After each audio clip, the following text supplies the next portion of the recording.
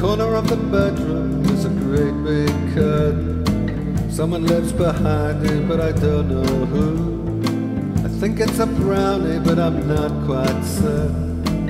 Nanny is uncertain too. I look behind the curtain, but he went so quickly. Brownies never wait to say, How do you do? They wriggle off at once because they're all so tickly. Nanny says they're tickly too.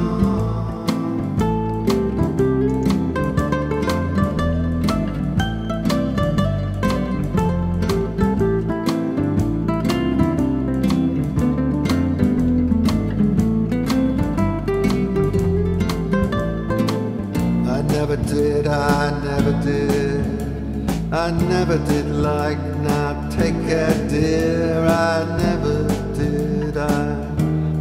did, I never did to hold my hand. I never did, I never did, I never did think much of.